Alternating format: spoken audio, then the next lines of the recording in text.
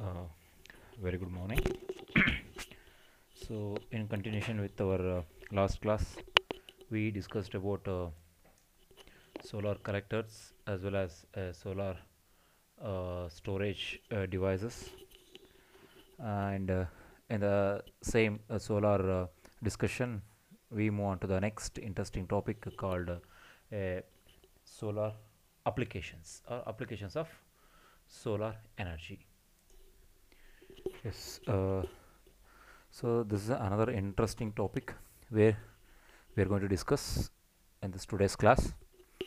Uh, this uh, solar applications or application of solar energy uh, is categorized into a three important uh, categories. Like first one, a direct, a thermal application, a solar electric application, and energy from biomass and biogas.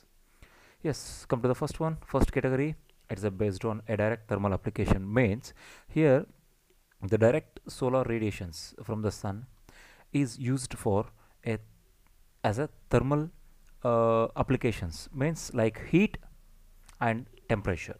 Okay, so some of the applications like heating and cooling the space or in buildings uh, or in hospitals or in house we can use this type of applications.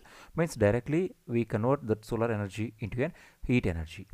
Okay? So this is a one type of application. It's a direct application direct thermal application. And second category is a solar electric application. So means this solar energy from the sun we are going to convert into a electric energy. Directly or indirectly we are going to convert it to a electric energy. That's why it is called as a solar electric application. And this solar electrical applications can again divided into some subcategories like the first one is a solar thermal methods. Means we are going to convert that electric solar to electric energy with the help of solar thermal methods. And this involves an high temperature. It involves an high temperature. Uh, but uh, first one direct thermal application involves an mediate mediate or a moderate temperature less than 100 or less than 150 degree. But here it's a more than 400 or 500 degree temperature. Okay. So for this we can use a concentric uh, uh, collectors or focusing type of collectors. From this we can convert that uh, solar energy into an electric energy. It's a one way. And second subcategory is a photovoltaic method. Means we are using a solar cells or in photovoltaic cells just to convert a direct solar energy into an electric energy. Here we don't need any other mechanisms or any other uh, machines. Directly that solar energy falling onto the solar cells and it will convert into a uh, solar electric energy uh, with the help of uh, semiconductors. It's an another method. And this we will discuss in the uh, later chapter third module. And next conversion is uh, solar energy into an electric energy without use of machineries and this is called as a thermoelectric conversion. So this uh, thermo means uh, of course it's a heat. So heat into a uh, electric conversion. It's an another uh, type of uh, subcategory. So here also we are not using any machines. And here directly the thermal energy is converted into electric energy. And another uh, subcategory is a wind energy. We already know that wind energy from the wind energy with the help of windmills we are going to convert a wind energy into a electric energy.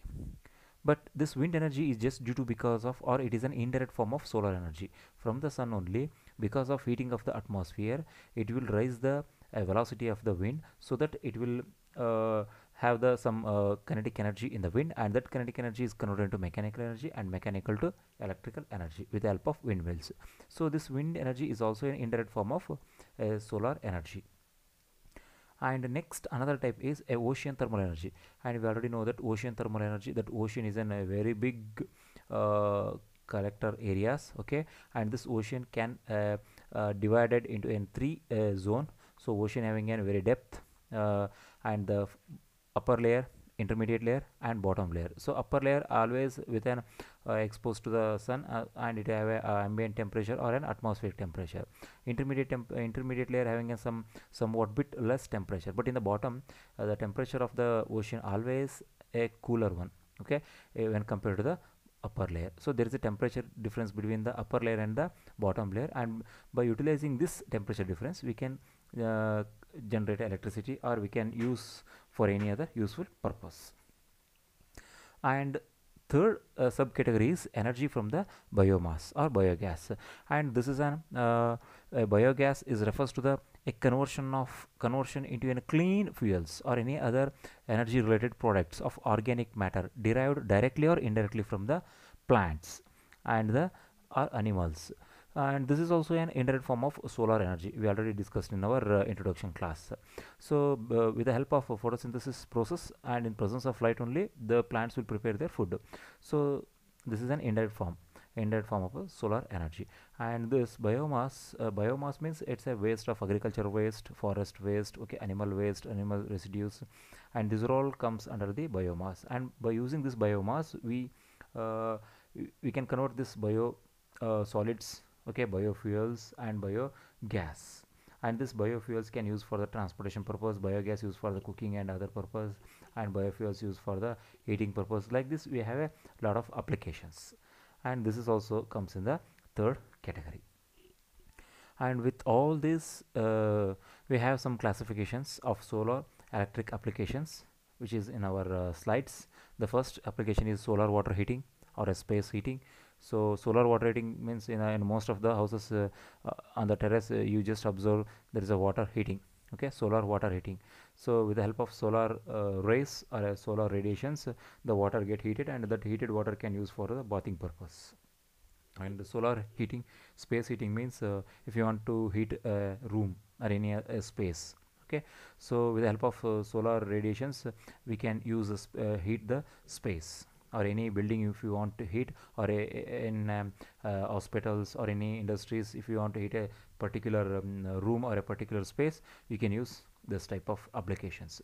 And space coolings uh, even it is also used for as an um, air cooler. It is used as a air cooler. So if you want to uh, cool a space or if you want to cool the room so you can use this uh, solar energy and thermal electric conversions. That is what we discussed. So with a direct solar ray we can convert that thermal energy into an electric energy and photovoltaic cells. Yes this is another applications. With the help of photovoltaic cells we can convert the electric energy electric energy from the solar energy and solar distillation. Yes solar distillation is an another important application where we convert that hard water into a soft usable water. With the help of this uh, solar energy we can convert. And solar pond. Yes it's an another beautiful example. Solar pond uh, and it is uh, entirely different from the natural pond. So with the help of solar pond we can um, have the very high temperature water and that high temperature water can use for any other um, electric generations electricity generations or else uh, any other useful industrial applications uh, we can use. And solar pumping yes of course in the agricultural purpose uh, nowadays uh, uh, there is an um, power fluctuation in the villages and that directly affects the farmers and the farmers cannot able to supply water continuously for their crops and because of that they may uh, they may uh, loss uh, loss may happens. So to avoid this one we can use the solar pumping. With the help of solar pumping yes of course we continuously supply water uh, for water means we can use for in the irrigation purpose and continuously we can supply water for the crops and we get we get a very uh, very advantageous when compared to the uh, normal um, electric uh, supply and agricultural industrial process. Yes in the some of the agricultural means some of the crops like uh, they need uh, they want to dry. Okay? Uh, of course uh, due to lack of the sun or maybe in the climatical changes uh, what happens the uh, sun is not available so that uh, the crops cannot able to dry.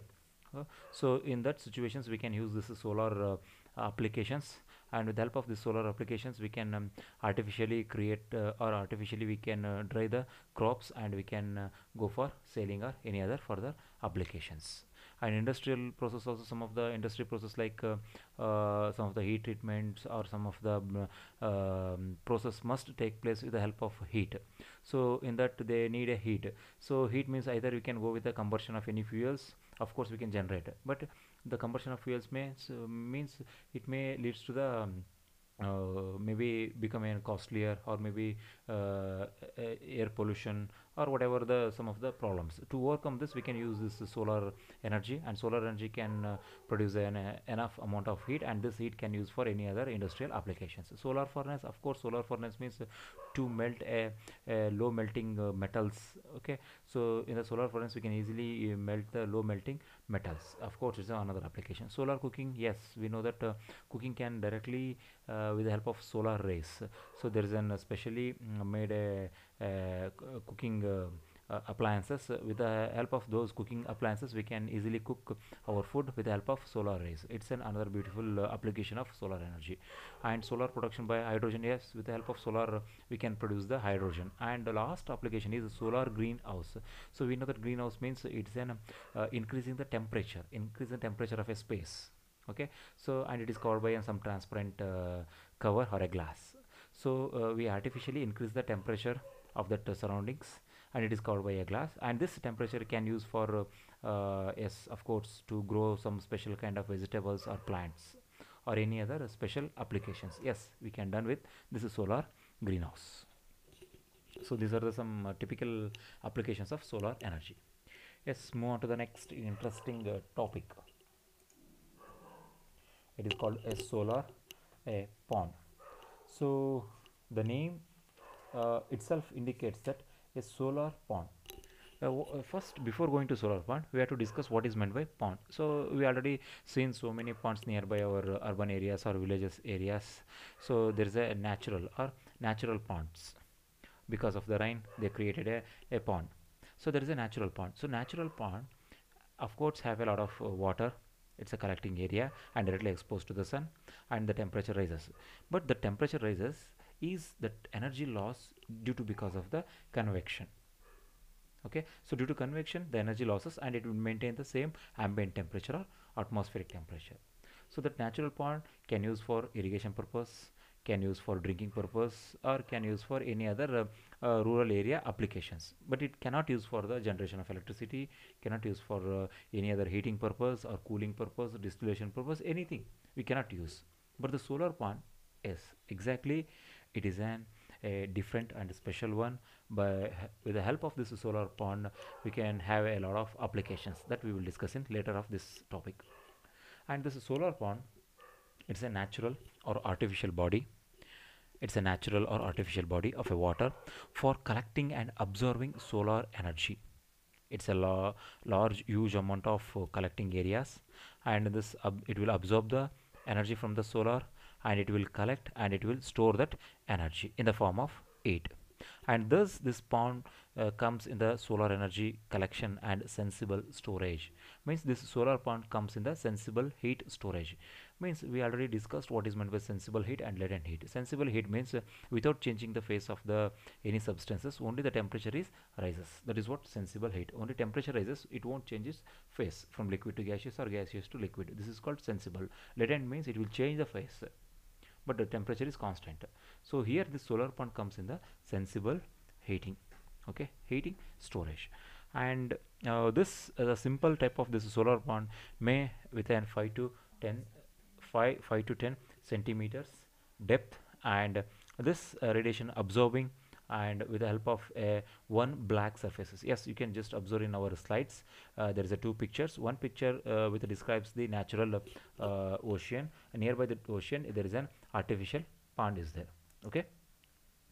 And uh, this is what uh, uh, uh, uh, solar pond.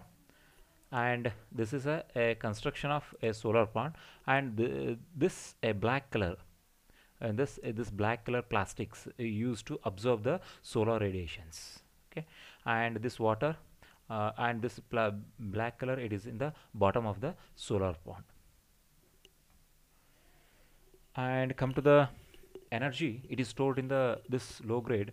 It's of course low grade and this energy is uh, from 6 to uh, 100 degree. Means we can achieve easily with the help of this solar pond we can achieve uh, 60 to 100 degree centigrade. Okay? And uh, come to the definition. So what is meant by this solar pond?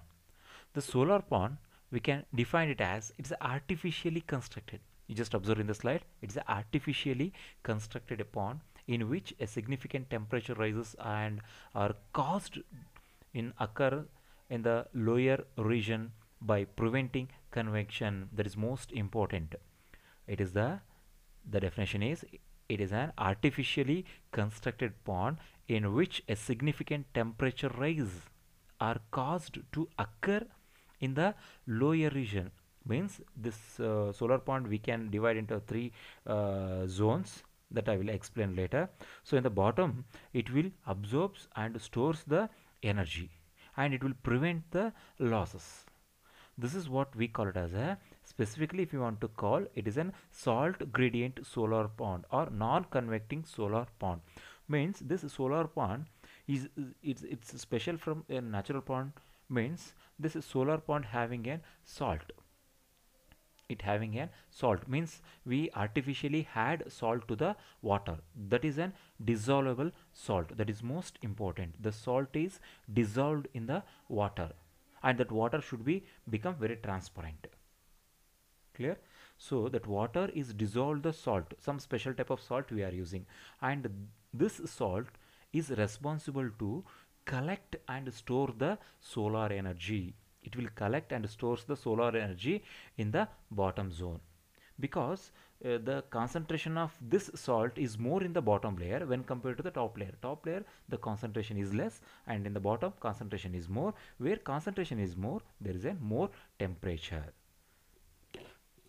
Yes of course uh, come to the some uh, special cases. And this solar pond uh, promises an economical way of flat plate collector. When compared to the flat plate collector of course having the same uh, working nature but the flat plate collector is become a costlier but it is a natural one. Where naturally we have the water and we have the free space and we just only cover with a, a black sheets along with some salt okay?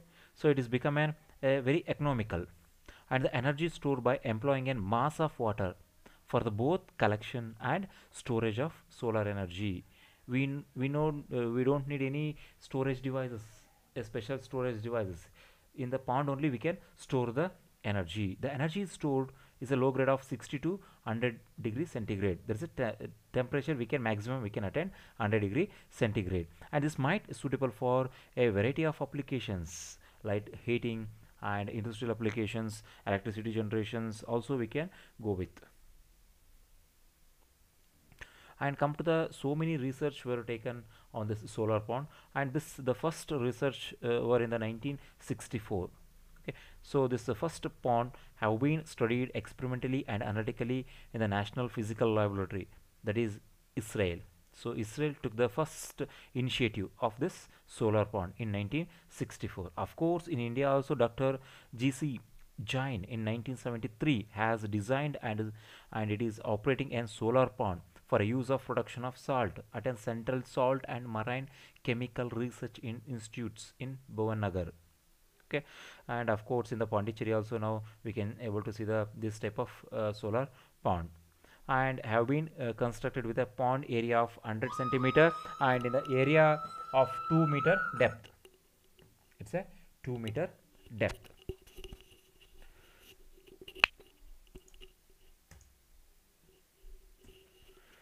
so coming to the next slide. So it is an uh, principle operations of this solar pond. And how uh, this solar pond have become a non-convective. Okay natural ponds have a convective one but it is a non-convective one. That is what we are going to discuss.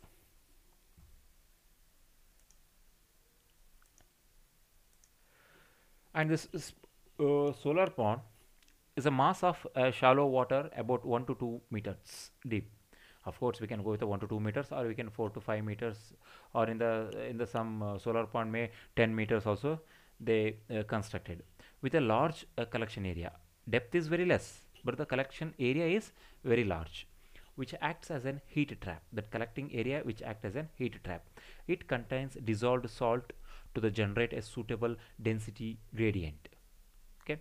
And the part of this incident radiations entering the solar pond surfaces absorbed through the depth and remainder which penetrates the pond is absorbed at the black bottom. That is what? The black cover we placed under the bottom of the solar pond okay? Initially this solar pond is filled with a, a fresh water and it is covered by a black color.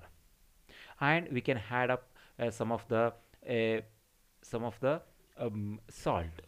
Okay? So uh, here the salt or the we are adding a different types of salt we can add. Okay?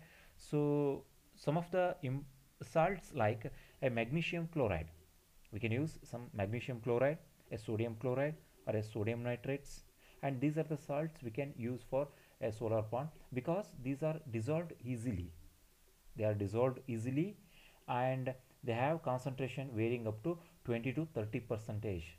We need a, a high concentration. If more concentration having a more uh, heat trap so that we can you, you go with this type of salts. And the the whatever the uh, material we can use for that uh, black sheets okay? A black it's maybe the liner of an butylene rubber. We can use a butylene rubber a black polythene or an naphthalon re reinforcement nylon mesh we can use. By using this uh, we have there is a durability as well as it's an having an a more uh, heat absorbing capacity. Yes this is a typical uh, schematic diagram of uh, solar pond and this solar pond we can differentiate with a three zone okay? The first zone what we call it as a surface convection zone or upper zone. Second one is non-convecting zone and third one is storage or bottom zone. So in the figure you can able to see the top one is directly exposed to the sun and it is in contact with the atmosphere and always it is having an atmospheric temperature. And it should be very transparent one so that it will allow the solar radiations to enter into the bottom and in this uh, if you go with the second figure you just observe depth versus concentration and temperature. If you go with the depth if more the depth more will be the concentration and more will be the temperature. If you less depth in the top surface it's having a less depth? So that the temperature is also less concentration is also less. When compared to the concentration in the uh, that is what uh, salinity we can call it as a salinity means the salt concentration. In the top layer having only a less than 5 percentage the concentration of that salt is less than 5 percent in the top layer. But in the mi middle layer it is keep on increasing the salt content and also keep on increasing the temperature. But in the bottom the salinity means the salt concentration is more than 20 percent. So that high concentration higher temperature rise. Okay? So in the bottom zone or in the uh, storage zone we can easily achieve the higher temperature up to 100 degree. But in the top layer it is of uh, ambient temperature or atmospheric temperature of 36 or 35 degree centigrade. So there is a huge temperature difference between the top and bottom. Okay? And uh, entire this uh, solar pond is covered with a, a black bottom. And also in the second uh, figure you just observe 100% uh, solar radiations from the sun.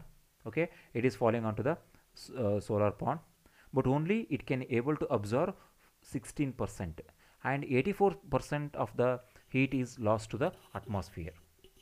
So the top layer having a more heat loss more convection heat loss that is up to 84 only 16% can enter into the solar pond and in the bottom only 14% is trapped and the remaining 2% is is loss in the form of uh, convection it's only a minor loss very minor loss. That's why it is called as a non-convective solar pond. And in the bottom layer it's a red one it's high temperature and high concentration.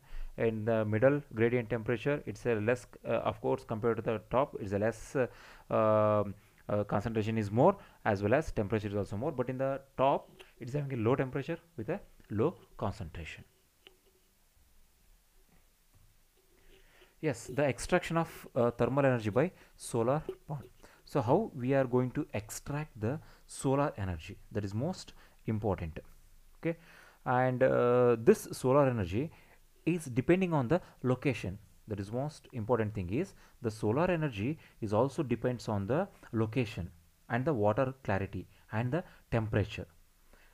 And in some uh, areas we get the more uh, solar energy when compared to the other areas. In the forest we get the only small uh, solar energy. But when compared to the deserts we get a more solar energy. So the depending upon the locations and the clarity of water the water should be very transparent. Then only we have the more heat trap. Okay? So based on this uh, we achieve the uh, heat uh, generation in the bottom zone and also this solar pond uh, before go, before uh, going to this extraction of thermal energy uh, another important point we have to discuss is the property of a salt. I told the natural pond and solar pond is different just because of the salt what we are using. And this salt is having a very high importance in the solar pond and this characteristics of this solar pond have some of important points are the first one is it must have a high value of solubility. Means it easily soluble in the water. That is most important. It is easily soluble in the water just like a water and the sugar water and the salt. If add uh, so sugar to the water what happens? And keep on stirring.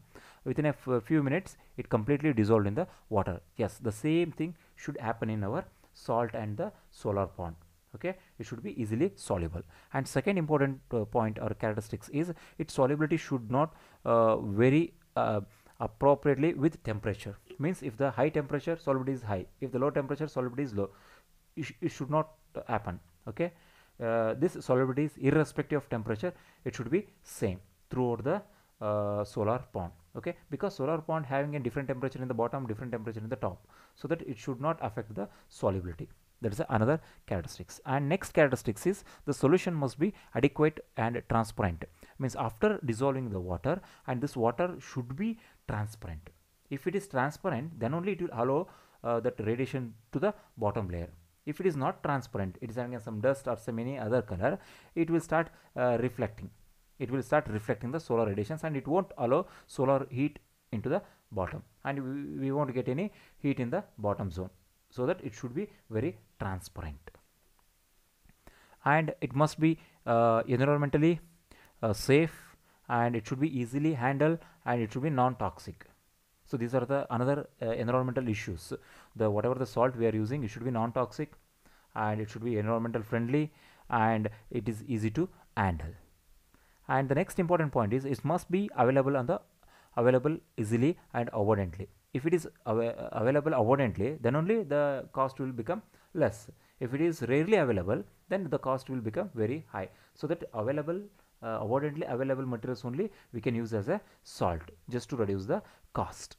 And the last one is it must be inexpensive. Then only we can use. If it is a, very expensive like gold or diamond we cannot use. If it is uh, very less expensive we can easily use and we can easily have uh, and we can take the benefit from that solar pond. So these are the some uh, important properties should have that salt what we are using in the solar pond. Okay.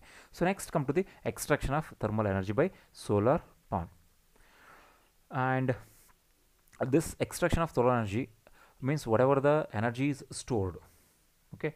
So energy is stored uh, in the low grade thermal form. Here I told it's a low grade means 60 to 100 degree centigrade and with a lower uh, convective zones. This uh, convections in the zone is just due to the process of heat extraction. And this can accom accomplished by a process like we uh, take whatever the uh, high concentrated high temperature uh, water in the bottom layer okay in the bottom. We just take that water and we do some work and again send back to the uh, solar pond. So this is what the process we follow generally but of course we can uh, use another method is there. Means we, we just uh, instead of taking that water so in the bottom layer only we can install so many pipelines. Okay? And in inside the pipelines we can use any uh, substances so that the substance will absorb the heat in the bottom layer. But we cannot go with that method. Why? Because it has some two disadvantages. Like uh, the cost will increases sharply in the case of a large pond if the pond is very large we have to install a large amount of pipelines and it becomes very costly. And second thing unless there is a convection around the pipe the heat transfer from the stationary hot brine to the fluid pipe will be very poor. And also another drawback is if the pipe is continuously exposed to the uh, high salted content water it may get easily corrode corrosion will takes place from all these difficulties we cannot go with this uh, installation of pipe. Simply we will take that uh, water from the uh, solar bottom pond and we did uh, will do some work and again send back to the solar pond. That is the method what we are using. Yes this is a typical working of a solar pond in electric power plant. This is what a typical electric power plant. Yes here uh, just observe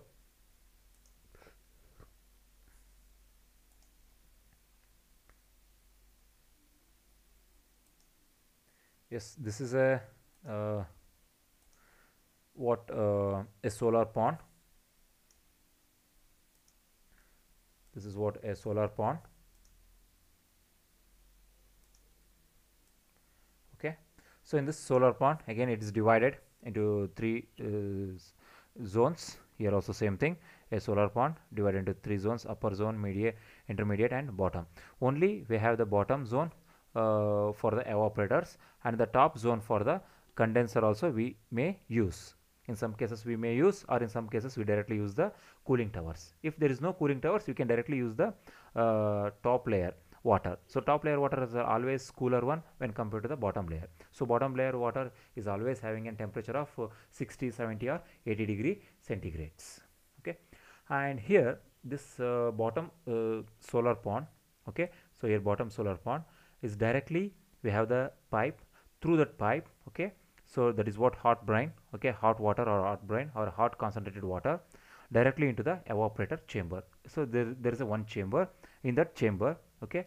So the chamber is with a this is a what chamber. In this chamber it is having so many coils. Clear? And in this coil so what happens uh, the inside the coil there is a substance is flowing okay? And that uh, coil is surrounded by a this hot water.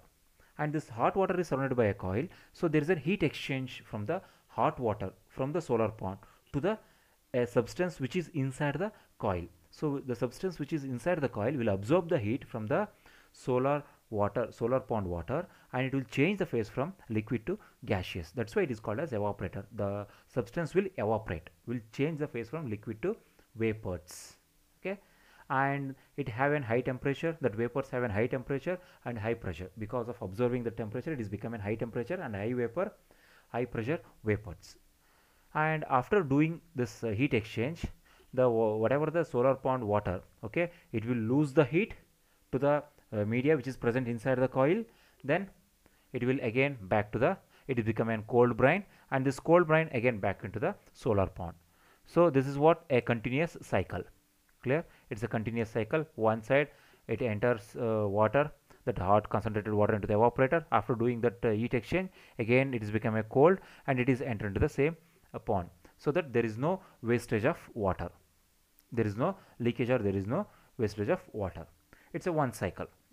We can call it as a one cycle. Yes after the evaporator in the evaporator that vapors which are from the because absorbing that heat from the uh, solar pond wat water and this vapors with a high temperature and high pressure is entered into the turbine okay? So it is entered into the turbine and in the turbine there are so many set of blades and these uh, vapors is projected onto the blades and it start rotate. Because of high temperature and pressure there is a series of blades and it will start rotate. And if the blades rotate turbine also start rotating. Once the turbine rotating it connect with the shaft and that shaft another end of the shaft is connect with the generator okay? And here because of this rotation this generator also start rotating. And this mechanical energy means this heat energy converted into mechanical energy in the turbine. And once the mechanical energy it is in the generator it will convert converted into electric energy.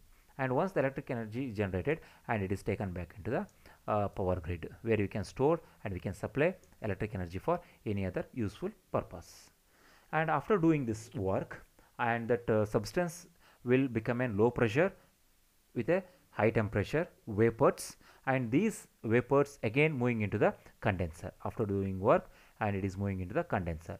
In the condenser either we can use in cooling towers or we can directly use the top layer of the solar pond because it is having an ambient temperature.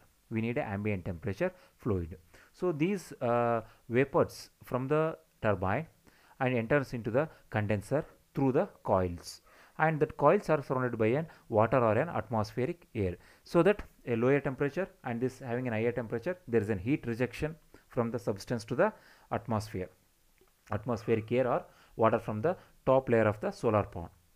And after giving the heat it will condense. By giving the heat it will condense and it is become vapors to liquid again. It is become vapors to liquid and liquid uh, substance again from the pump again into the evaporator. So this is also another continuous cycle. Okay so here also there is no waste uh, there is no loss and there is no leakage. It is also continuous. Condensing evaporating. Condensing evaporating. In the evaporator absorb change the phase. And in the condenser giving heat change the phase. Then come to the cooling tower. And here cooling tower you can use the atmospheric air or the, the normal water for this cool the substance. Okay. So this is what the a typical a working of solar pond. Here also same thing i explained the condenser evaporator turbine generators solar pond okay cold water hot water and cooling towers. If you want you can use cooling towers. If there is a not availability of cooling towers we can directly use the top layer of the solar pond. So top layer of the solar pond having a less concentration and it is having a less heat temperature. And here one more thing we have to observe is we have to maintain the concentration of uh, uh, salt in the bottom layer. So continuously we have to feed the salt and maintain the concent concentration concentration gradient. Then only if more concentration more heat trap if the concentration reduces then it will reduce the heat absorption. Okay? So this is what an uh, typical working of a solar uh, pond with an electric power generation and here uh, some examples is a 200 square meter pond and with a uh, capacity of 20 kilowatt engine has been constructed. So it's a typical application in a australia. So in a 2000 square meter it's a capacity with a 20 kilowatt a solar pond. Yes next uh, is application of solar pond. So come to the application of solar pond. So this solar pond having an uh, so many applications. In that we made some few important applications like heating and cooling the buildings. It's an uh, application where we can use this solar pond or heat trap or a heat for heating the space or cooling the space. If you cooling the space means we can use the air cooler uh, process. That air cooler process run with help of this solar energy and heating means directly we can use that uh, heated air into the space. That's a one beautiful example. It's an application. It's a common application like heating and cooling the buildings or any uh, space space of buildings. Second one is production of power. Just only we discussed uh, electric power generation. That is what the production of the power. Yes we can go with the that application. Next application is industrial process heating so some of the industries i told some of the industries need a uh, some reactions. For reactions they need heat or for some processes like uh, etching or some uh, bleaching or some any other uh, process they need a heat as a media or as a uh, reactant. So in that uh, we go with this solar pond and the solar pond can able to generate 100 degrees temperature easily and that 100 degree can utilize for this industrial processes and fourth important application is distillation. Yes in the figure you just observe this is what the solar pond with a distillation. So distillation means converting hot water from the sea or from the ocean to an drinkable water. So that is what soft water distillation process. In the arab countries or in the israel they are using this process for generating the soft water or drinkable water so here it is a solar pond again bottom higher temperature top lower temperature. And this bottom is directly connected with the evaporator where that hot water can uh, hot water or, or from the ocean can easily evaporate. Okay? And here it is expands. And in here it is an yes uh, uh, it's a condenser where that uh, vapors easily uh, condense. And we get the uh, drinkable water okay? So this is what the one uh, uh, typical example in the distillation processes. And uh, this is what the um, electric power generation figure okay? Solar pond with the electric generation power plant. And next is eating animal housing and drying crops. That is what in the agriculture purpose we can use this uh, solar pond energy for heating and heating the animal housings and in the uh, winter or in the rainy season we need a heating for uh, animal housing or in the, for the human being also we need uh, heating purpose and drying crops. Yes that is a that is what most important in the farmers. Crops should be dry. Then only they have weightage if it is not if it is a wet they have very low weightage very low cost.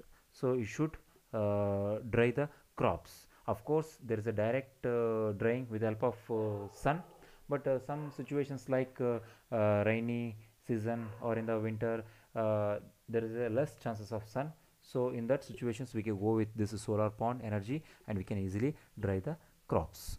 And uh, heat for biomass conversion. Of course biomass conversion we know that biomass conversion means that solid to liquid or gaseous there is a conversion it takes a lot of time and that takes place with the help of heat. Okay? Then only it will convert as a bio uh, products like biofuel or uh, whatever the biogas or biosolids. So that takes place with the help of heat. And for that we can use this solar pond energy for heating that biomass conversion. So these are the typical applications where we can use solar pond energy. This solar pond means it's having a three zones low upper intermediate and bottom. In the bottom higher temperature just because of the salt what we added. And it is trapped and that solar energy is absorbed because of the a black layer we mm, placed under the solar pond. Okay? And this uh, trapped heat we can use for these applications. Okay? So in the next class uh, we'll discuss uh, solar water heating Thank you.